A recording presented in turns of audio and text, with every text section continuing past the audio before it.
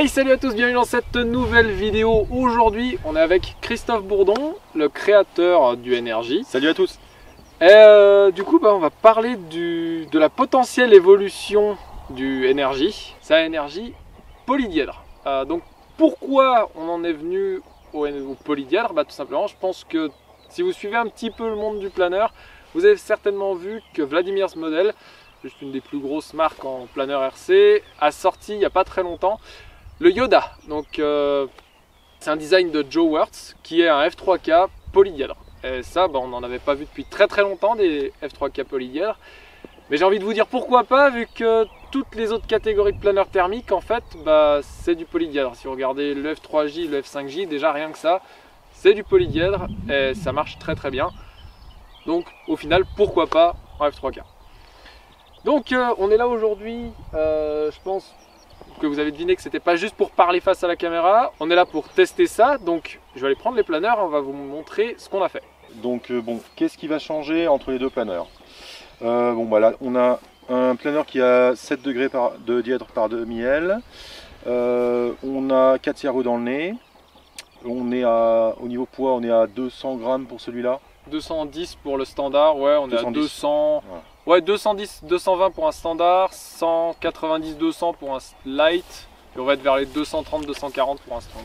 Voilà, donc après si tu veux présenter l'autre un peu, qu'on voit les dièdres. Et donc ça c'est donc la version polydièdre, donc c'est une aile d'énergie standard qui a juste été recoupée, hein. on voit les endroits où ça a été coupé et donc modifié, il y a moins de dièdres au centre et plus de dièdres pour, euh, bah, enfin on a remis des dièdres ici et donc rajouté deux cerveaux et du coup, bah, mis à part ça, euh, rien n'a changé, c'est un énergie standard.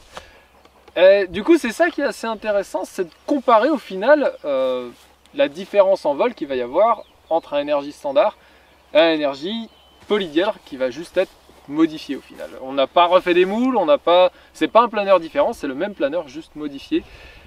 Et je peux vous dire que c'est intéressant. C'est c'est très intéressant parce qu'au final, bah, c'est comme si c'était un planeur complètement différent. Le polydièdre va changer la manœuvrabilité, la façon dont il appréhende l'air aussi, parce qu'il ne va pas se comporter de la même façon quand il rencontre une masse d'air comme un thermique, une dégueulante ou une turbulence. Euh, il va tout simplement être, moi de mon constat en tout cas, plus stable. Ça, C'est le premier truc. Je sais pas ce que tu en penses. Euh, plus stable, oui. Alors euh, c'est bon, c'est plus facile. la lecture de l'air est plus facile. On, on- on arrive euh, grosso modo à le, placer où on veut euh, en dépensant moins d'énergie. Et euh, au niveau des, par exemple, il fait beaucoup moins de dérapage. Il est plus précis dans les trajectoires. Et on, tout de suite, on se sent en sécurité. on ose faire des choses qu'on qu'on faisait presque pas avant. Donc c'était plus facile d'hésiter avant de se dire oh, est-ce que je vais tenter ça?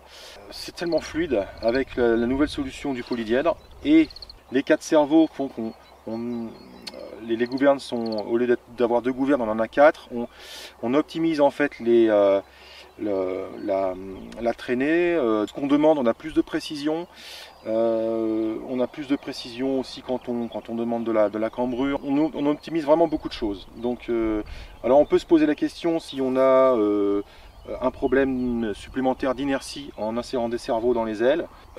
Franchement, Franchement, moi j'ai rien constaté d'important niveau inertie dans l'aile. Ça m'a surpris euh, au premier test. J'ai dit, mais l'aile paraît pas lourde en vol.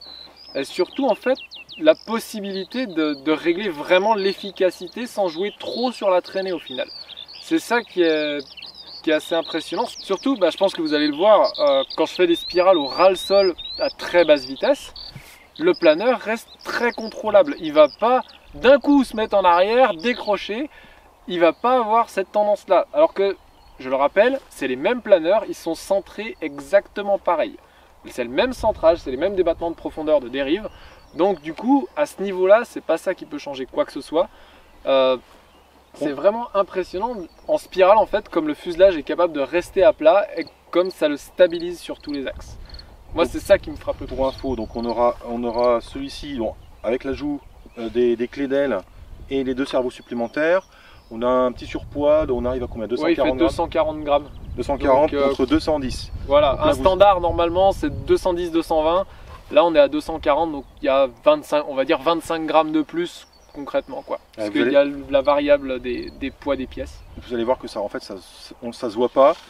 Et euh, pour, prendre une- pour prendre un thermique, euh, on pourrait se dire bon ben celui-là sera pénalisé. Vous allez voir. c'est en En- fait, euh, C'est- assez fou. Euh, bah, vous le voyez de toute façon en ce moment en vidéo, vu que je mets les vidéos par-dessus. C'est En fait, il est tellement plus facile qu'au final, il est tout le temps au bon angle. Et du coup, bah, il est plus efficace, il monte mieux. Bon pour le même pilote, quand on a, quand on a bien sûr, euh, voilà, quand on s'est fait un peu la main évidemment. Mais tout de suite, quand on met les mains sur ce type de, de planeur, ouais, comme disait Joe, euh, c'est un peu bon, c'est un peu une révélation parce que on se dit mais euh, mais qu'est-ce que c'est facile que, que- que- comment Ouais, c'est ça. D'a- D'ailleurs, un gros merci à Joe Wertz pour nous avoir aidé pour euh, le développement de ça. hein. On lui a posé pas mal de questions, il a très bien répondu à nos réponses. Donc, bah, il est en partie euh, Bon, c'est surtout suite, responsable de ça. c'est surtout suite à la promotion de son planeur, évidemment qu'il a beaucoup expliqué.